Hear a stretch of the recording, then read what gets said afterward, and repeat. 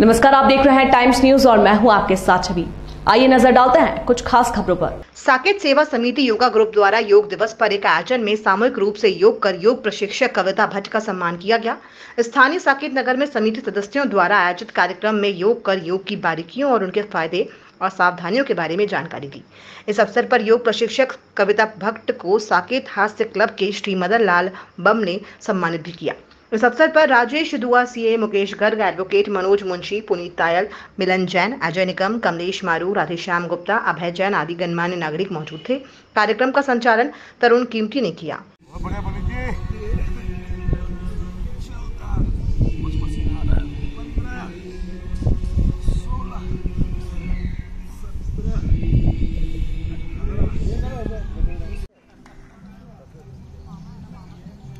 बहुत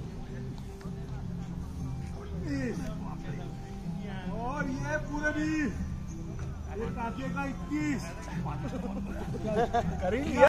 time news देखिए अब